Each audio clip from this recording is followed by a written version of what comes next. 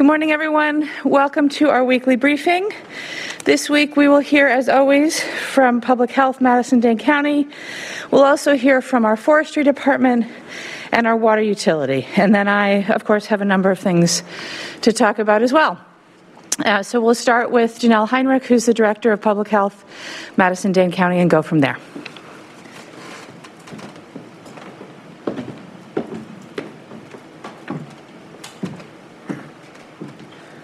Good morning.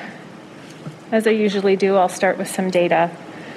As of today, we have had 37,600 individuals diagnosed with COVID 19 since this pandemic started in Dane County. Our 14 day average is 134.5 cases per day, which is down from 181.3 last week. Since December 1st, we have lost 116 people in Dane County from COVID 19. Hospitalizations have stabilized but remain high, and right now there are 89 people hospitalized with COVID in Dane County.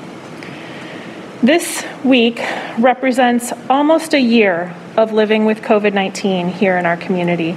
It has been an incredibly challenging year for all of us, personally, professionally, mentally, emotionally, and physically.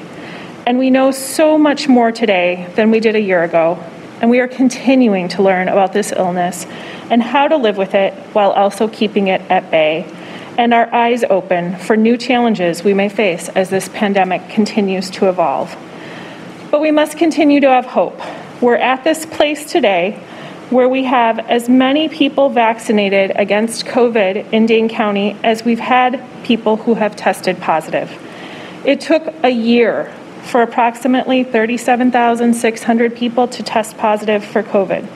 In just one month, 38,660 Dane County residents have been immunized with at least one dose of vaccine. While we'd all like vaccination to go faster, the fact that 7.1% of our population and nearly 10% of Dane County residents 65 years and older have, released, have received at least one dose of vaccine in just a month of having the vaccine available is amazing and should be celebrated. All the vaccinators in Dane County are ready to pick up the pace of vaccination as soon as the supply chain increases. Until then, and even for a little while after, the best thing our community can do is to continue to wear masks and limit contact with others. While we are incredibly enthusiastic about how many people have been vaccinated already, the possibility of new, more infectious variants of the virus making their way to our community is a concern. And finally, I want to encourage you to get the vaccine as soon as you are eligible. These groundbreaking COVID 19 vaccines are safe and extremely effective. While the process to create the vaccines was fast, no safety steps were skipped, it's normal to feel some hesitancy about a new vaccine, but every study, every trial, and every phase was reviewed and approved by the FDA and a safety board. Tens of thousands of people participated in vaccine trials to assure they are safe and effective, and the vaccine has since been given to millions of people safely. At 95% efficacy, this vaccine is extraordinarily effective at protecting you from the virus. You can find more information about the COVID vaccine on our website at publichealthmdc.com slash coronavirus slash COVID-19 vaccine. Thank you and stay well.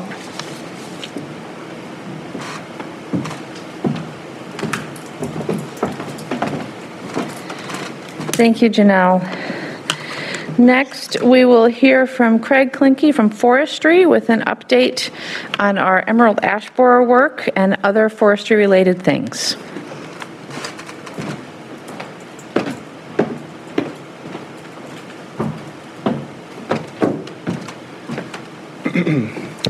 Thank you.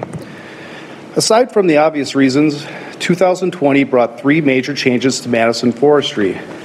Number one, APM 6-2 was changed. This is the APM that mandates how we notify the public regarding tree pruning and removal operations. We used to have to hand post a door hanger at every house that had trees in front that needed pruning. Obviously, this was a time consuming process. Now we're able to inform the public electronically via a map located on our webpage and through all their notifications that pruning activities will be taking place. This change saved, saved hundreds of hours of work alone in 2020. Number two, the five year project of preemptively removing ash trees due to emerald ash borer, or EAB, was completed in 2019. Over the course of five years, we removed over 10,500 ash trees. On average, we spent about 6,400 hours per year removing the trees. 2020 was the first year since the onset of EAB that we were able to use these resources for other purposes. Finally, the third significant change for us in 2020 was forestry moving from the Parks Division to the Streets Division. This move made operational sense because prior to the move, Streets and Forestry were already assisting each other. Streets was grubbing all of our stumps. Streets was loaning us equipment such as clam, trucks, clam trucks, brush trucks, and excavators. And Forestry was providing plow trucks and drivers to streets during snow events. Moving from the Parks Division to the Streets Division only increased these efficiencies. Streets and Forestry are now able to work even closer together and support each other more effectively on an almost daily basis. Streets helps Forestry with tree work, and Forestry supports streets in snow removal efforts. We wish to recognize the mayor on her foresight for implementing the changes to APM 6-2 and for recognizing the efficiencies gained by moving from the Parks Division to the Streets Division. Thank you for your support. The early results of these actions is extremely promising. I'd like to take a moment to talk about some of the highlights of the year that were made possible because of the previously mentioned changes in leadership. For reference, I used data from 2020 and compared it to the five year averages during the years we were working on preemptive ash removals, 2015 through 2019. One way to measure the progress of a municipal forestry program is to analyze how long it takes in between each round of pruning. This is what we call a pruning cycle. One of the goals recognized by the Urban Forestry Task Force is for us to reduce our pruning cycle. Madison Forestry has two cycle pruning programs small tree pruning and what we call all tree pruning. Small tree pruning involves what we, uh, what we can do typically from the ground on trees that are about planted up to about nine years of age. All tree pruning means just what it says. We prune every single tree within the identified geographic district. The average number of small trees pruned during the EAB years was 4,400. In 2020, we pruned over 11,000 small trees. This is an increase of over 6,650 trees. The average number of district trees pruned during the EAB years was 2,400. In 2020, we pruned 5,700. Again, another significant increase in, in numbers.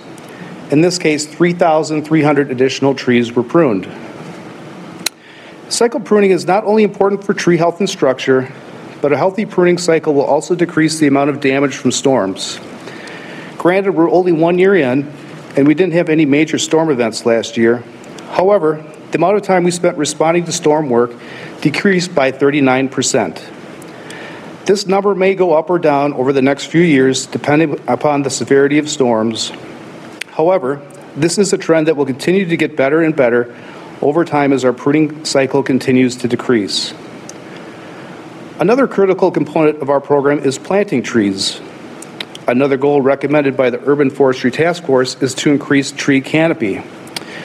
The number of trees planted in 2020 was consistent with the number planted the last few years. The number is fairly high due to the fact that we have to replant to replace ash trees. On average, we've been planting around 2,500 trees per year. However, the big change to note in 2020 is that we had streets to perform all the utility locating work. This allowed us to mechanically auger more planting sites and to hand dig fewer. In turn, this allowed us to plant more trees per day. So, even though planting numbers stayed the same, the amount of time it took us to plant went down significantly, even though we had to overcome all the social distancing requirements to keep our staff safe. Overall, planting was sped up by 850 hours. Now, just because we're finished completing preemptive removals doesn't mean that we're finished dealing with EAB. Madison has 11,000 ash trees remaining in the right-of-way, and every one of these trees is treated once every three years to prevent EAB infestation. This is a significant project that does not have an end date in sight. Last year, we switched to a new formulation of product that is more concentrated and less viscous. The trees were able to translocate this formulation much more quickly than the previous material. We were able to reduce the amount of staff needed on the treatment crews and completed our injection program 2,000 hours faster than in previous years. in summary, we headed into 2020 with a lot of positive things working for us to help reduce the pruning cycle. However, the positive results just mentioned did not happen on their own. Teamwork, resiliency, and problem solving all contributed towards a successful year. As we move uh, towards working on our goals for 2021 and beyond, we can reflect upon a challenging year and bring forward the lessons learned to help achieve successful years into the future. Thank you.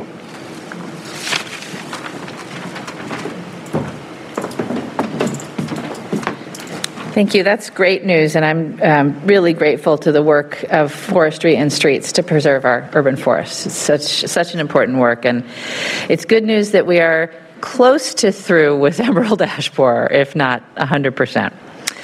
Um, next, we're going to hear from Amy Barrilleaux of the water utility uh, about some of our conservation efforts there.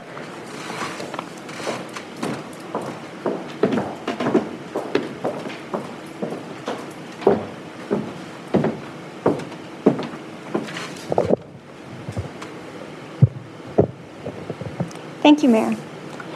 Madison Water Utilities total uh, for pumpage last year is in. That's the total amount of water that Madison Water Utility pumped to homes and businesses across the city in 2020.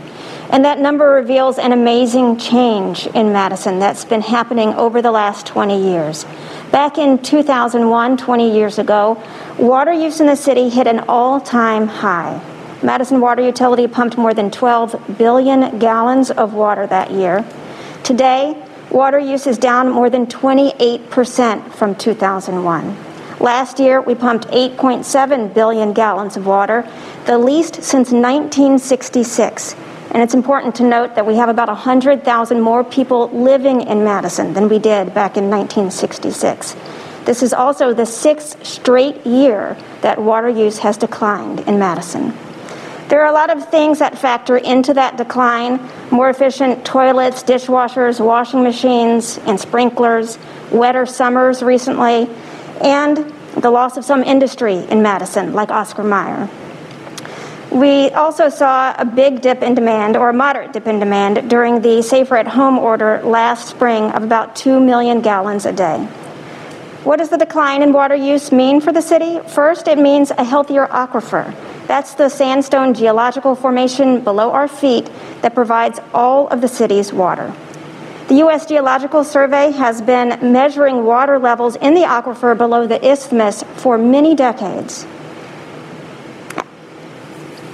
After a period of record drawdown in the 1990s, we are now seeing the highest water levels since the mid 1950s in our aquifer. In the short term, declining water use can also mean increasing water usage rates as the city works to replace aging infrastructure like mains, pumps, reservoirs, and well facilities. Madison Water Utility has also been working hard to encourage conservation through our popular toilet rebate program that saved more than a billion gallons of water since 2009. And in 2014, we launched Wisconsin's first online conservation tool that allows people to track their weekly, daily, even hourly water use online. It might seem counterintuitive for an organization that is completely funded by water rates to encourage people to use less. But we are stewards of this critical resource. The lower the water level in the aquifer, aquifer, the more effort it takes to pump it out, the more energy we need. The way we were using water in 2001, that path we were on, was not sustainable. It's up to all of us to protect Madison's water resources. So we invite you to learn more about how to conserve by visiting our website, madisonwater.org/sustainability. Thank you.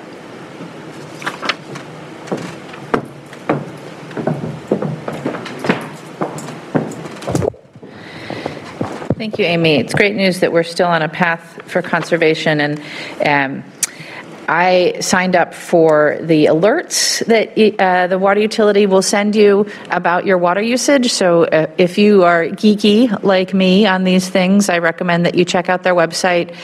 You can um, dig into your own uh, water use uh, at your home or, or office, and uh, you can get alerts when you go over a certain amount of usage uh, on a daily or monthly basis, and uh, just generally find out more about how what you're doing impacts the larger picture uh, of water use here in Madison. So I'm, I'm, grateful to the water utility for providing those tools to people um, and for continuing to focus on conservation and the protection of our aquifers. Um, all right, so I have a, a, number of things to go through today as well, uh, and then we'll get to some questions. Uh, firstly, just want to um, draw your attention to the fact that President Biden has been uh, issuing executive orders uh, in a fast and furious fashion, um, many of which are quite exciting for the city of Madison. Uh, yesterday, uh, we saw a, a whole list of actions on climate um, which is really welcome. And I'm just delighted that we have um, a partner in the federal government uh, on combating climate change. It's obviously a big priority for us here in Madison, um, and I'm uh, really looking forward to the impact of some of these actions and, and future work uh, that I know the administration will do um, to put us in a better place with respect to climate, reducing our greenhouse gas emissions and improving our resilience, uh, which is something that we're focused on here in Madison as well. Um, I do want to remind folks that we have two elections in 2021. I know, I know, we just got through with the November election, um, but democracy is important, and uh, we do have spring elections, mostly for local offices um, here in Madison. Um, we have a spring primary on February 16th, and then we have the spring election on April 6th. Um, in general, you can request absentee ballots for each individual election or for all calendar year elections. Um, and uh, you can do that through the My Vote Wisconsin website or contact the clerk's office uh, for more information. If you have requested an absentee ballot, it should be coming to you soon, and you can return it via one of the following methods. You could drop it in one of our secure drop boxes. Um, those are open, they opened on the 26th. They will open through uh, February 15th for the primary. Um, you could return your absentee ballot by mail to the clerk's office, or you can drop it off in person at the clerk's office. Um, or you can drop it off at an absentee voting site when they open on February 2nd. Or you can drop it off at your polling place on election day. So there are lots of options to get that absentee ballot back to us. Uh, you, of course, also have the option to vote in person absentee after February 2nd when those sites open, and you can vote on election day at your polling place. All of this information and much more, including the the two things that I'm about to go into more detail on is available at cityofmadison.com slash clerk. Um, so uh, just to touch a little bit more on the spring primary, Again, it's February 16th, um, and there are multiple offices that will be on the ballot in February. There is a statewide race for state superintendent of public instruction. Um, in Dane County, uh, Supervisory District 12 has uh, a primary. And then in the city of Madison, there are three aldermanic districts that have primaries District 9, District 16, and District 18. Uh, And then the Middleton Cross Plains Area School District has a board member seat that has a primary. So uh, everybody will have the state superintendent of public instruction race on your primary ballot. The rest depend on where you live. Um, You can look up your districts um, via the City of Madison Assessor's Office. So if you uh, search your address in the property lookup page, you will get to see your aldermanic district, your supervisory district, what school district you're in, and then you'll be able to know uh, if any of those races will be on your ballot. Um, I want to go into a little more detail on the secure Dropbox question because this has been um, the topic of uh, some what shall we say, distress in social media. Um, the city of Madison, and particularly the clerk's office, has been repeatedly attacked uh, for installing secure drop boxes and using them for elections, which, let me just say from the outset, is ridiculous. Uh, these are completely legal, they're completely secure, they're a safe way to return your ballot. Um, and I'm actually quite proud that our clerk's office uh, has in, both installed them and continues to do the work of making elections accessible to as many voters as possible. Um, so, as I said previously, our secure ballot drop boxes are open for the February primary. Um, and so, if you have an absentee ballot, if you've requested that and that's been sent to you, you can drop it off in a secure drop box. Um, and these uh, drop boxes are at 13 of our fire stations and at Elver Park. So almost every fire station has a drop box, uh, and then there's one at Elver Park as well. And the city clerk has a pretty elaborate process for retrieving these ballots and making sure that they stay secure uh, through when they're counted on election day. Uh, two sworn election officials retrieve the ballots from the drop box. These election officials secure the ballots in a ballot bag with a tamper evidence seal. The seal number is written on the chain of custody form, and the election officials complete and sign the chain of custody form, and they are affirming um, that they would be subject to all applicable civil or criminal penalties if they failed to comply with state statute. Um, which reads, "No person may willfully or negligently fail to deliver, after having undertaken to do so, official ballots prepared for an election to the proper person or prevent their delivery within the required time, or destroy or conceal ballots." So everyone who comes in contact with the ballots has to uh, affirm and swear that they are taking good care of them and delivering them to where they belong. These election uh, officials then deliver the ballots back to the clerk's office. They collect them every day between uh, the 26th and February 14th. Um, on the 15th, the teams will be um, collecting uh, ballots from the drop boxes at 5 p.m. and then they will close and lock the drop boxes. So if you want to use a drop box, you have to do it before February 15th at 5 p.m. Um, They return those ballots all to the clerk's office. Clerk's office staff confirm the information on the chain of custody form, and then those ballots get sorted and delivered to polling places where they are counted on election day. So it's a, it's a quite a bit of work, um, but it's absolutely worth it for us to ensure that people have the chance to return their ballots and to vote in every single election in the city of Madison. And again, I'm really grateful and proud of the clerk's office for all of the work that they do um, to make our elections safe, secure, and fair. Uh, all right. So, turning back to public health for a minute, uh, I just want to reiterate, um, you know, that that public health is working hard to vaccinate as many people as possible um, as our supplies of vaccine allow, um, and to again ask folks to remain patient um, until they are uh, in the group that's eligible for vaccination. Um, and I encourage you to follow this information both at the Wisconsin Department of of Health Services website and Public Health Madison Dane County website to find out more about the vaccines and about eligibility. Um, we do know that pending um, uh, availability of vaccine starting on March 1st.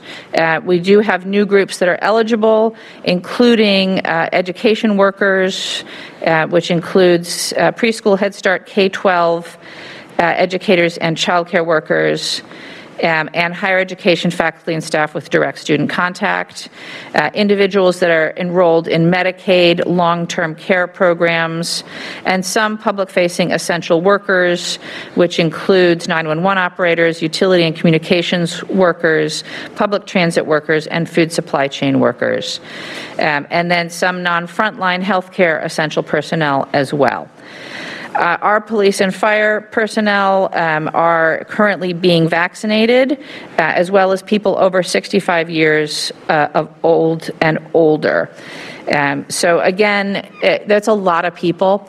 So just be patient. Um, we are hoping for increased supply uh, from the state and federal government, um, but there's a lot of people that are currently eligible and are uh, in the process of getting vaccinated.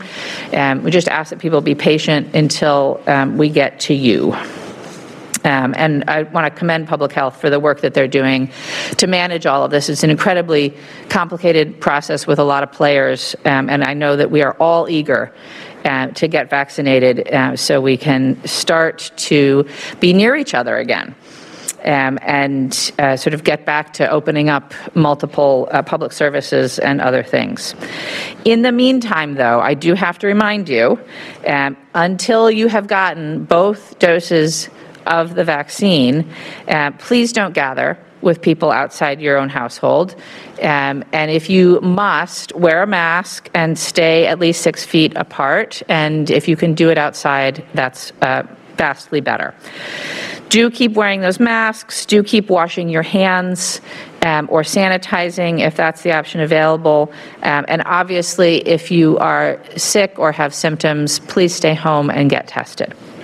We need to keep taking care of ourselves um, until everybody is vaccinated, or, or at least until we reach a very, very high percentage of folks that are vaccinated in our community to uh, break the chain of transmission.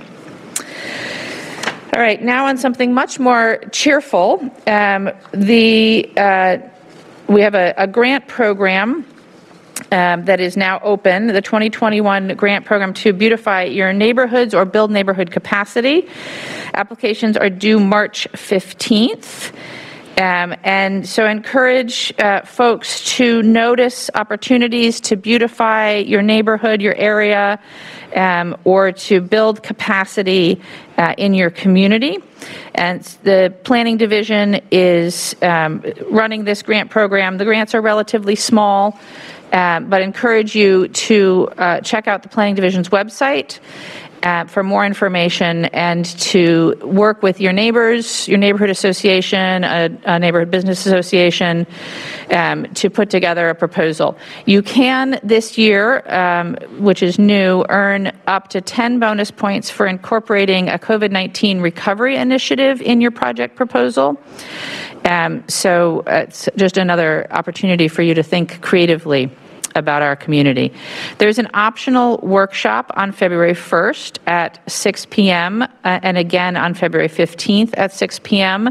for guidance on how to apply or to hear what other neighborhoods are considering doing.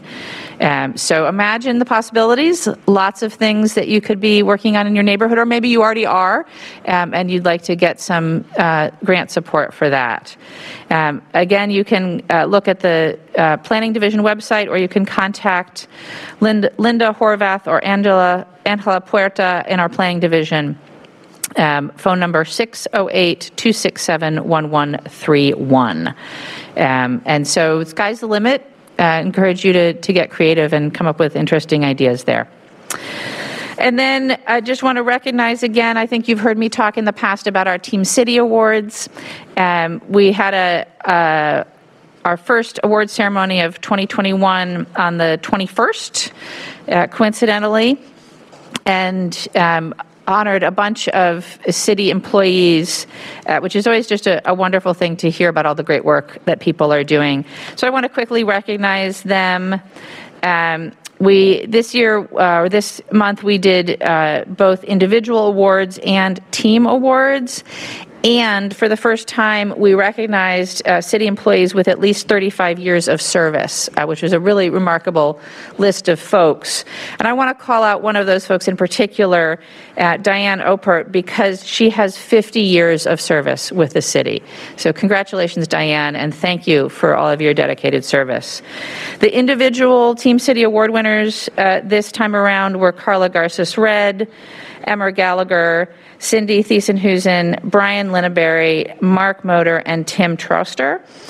And we did teams for the first time as well. And so the teams, just briefly, were the Presidential Recount Project team, the Streatery team, uh, the uh, Alder Response team, the Madison Water Utility Pump Operators who keep us in clean water, uh, and the Inclusive Workplace APM team, and finally, the First Street Shelter Project team. Um, just want to say a huge thank you to all of those folks um, who are working to make our city a better place.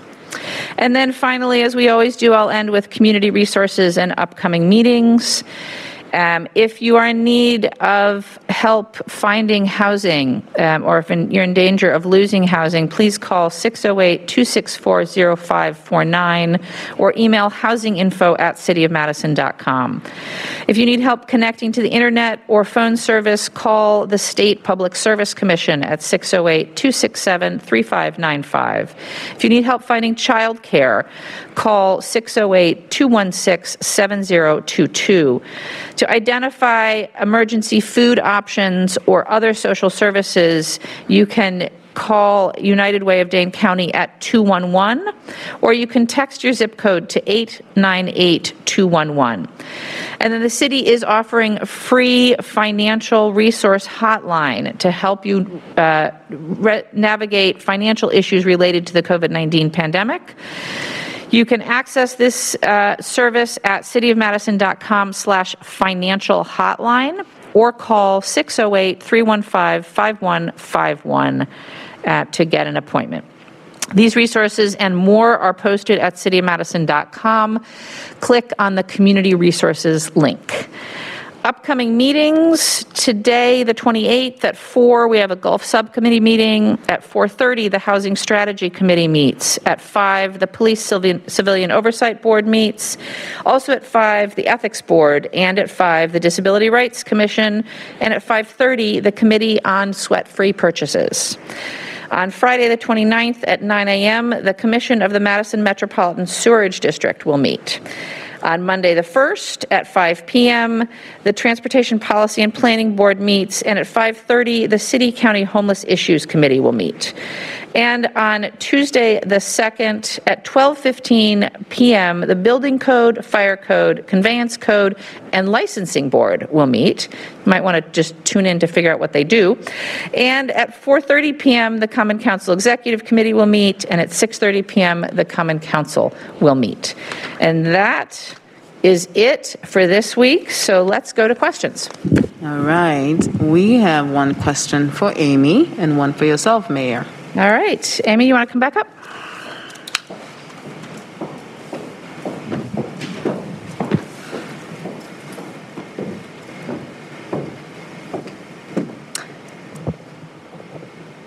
Good morning, Amy. Morning. Your question is How much can Madis- Madison residents expect their water bills to go up? What are the infrastructure costs? Has this been a bad year for water main breaks? What percentage of water main breaks have been replaced, and how much more have to be? I'm not sure if I have the answers to all of those questions specifically. Um, this has been a relatively normal year for water main breaks, um, first off. So, uh, you know, we continue our water main replacement program at Madison Water Utility.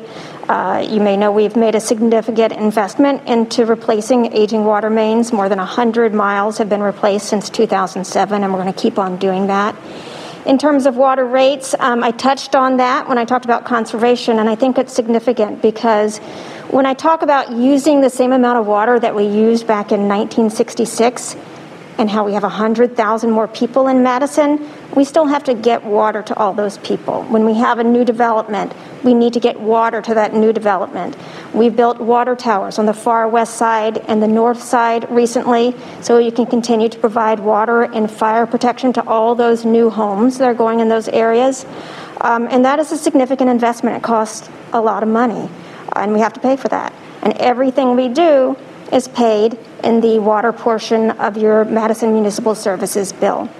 So um, it's a delicate balance, I think, that every utility faces. Um, we want people to conserve. We absolutely cannot continue to use water the way we did 20 years ago. But at the same time, we have to get water to people. We have to be able to protect their homes from fire. So uh, rates will continue to go up periodically as they have been for the past 20 years. 20 years ago, people paid less than $10 a month for water in Madison. Um, now they pay more than $20 a month for water. So um, it's hard to say uh, right now, sitting here, how much we can expect rates to go up over the next 20 years, but there will be periodic increases.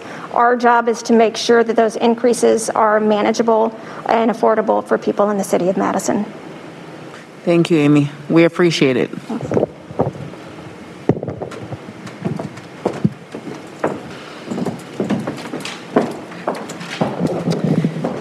Um, Mayor, yours is a multiple part question as well.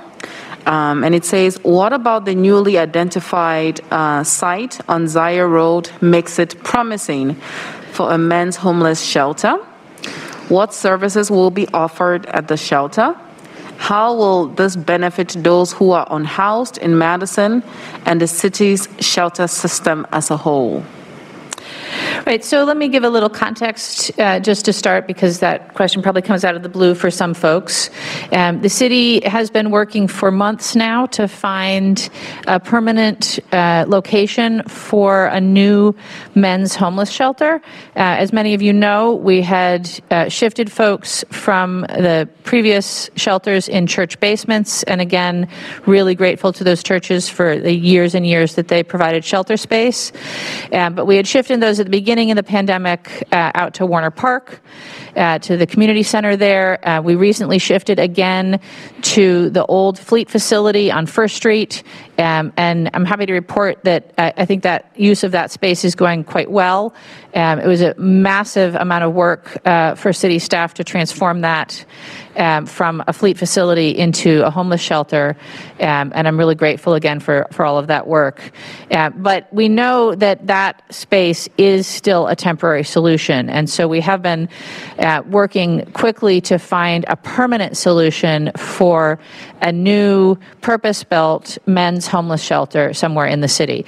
And recently, uh, we did identify a site, uh, and we have an agreement to purchase that site. Uh, is out on Zeier Road, um, and uh, if the Common Council agrees on Tuesday, we'll be moving forward with that site.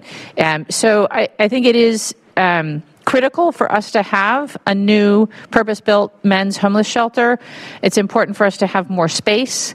Um, and it's important that it be purpose built um, so that we're not, you know, sort of sacrificing uh, functionality um, by just sort of going along and um, building in in uh, a haphazard manner. Um, we don't at this point know the full array of services that will be offered out there, but I think that it is everyone's intention um, to create a situation where it's not just a shelter, but rather does offer an array of services to our homeless neighbors um, to support them in uh, their work and efforts to get housed um, or whatever else they might need, whether that's connection to services around mental health uh, or AODA issues um, or uh, employment, uh, or whatever it might be. So I do think that it's our intention to have it not just be a shelter, but rather to include other services as well.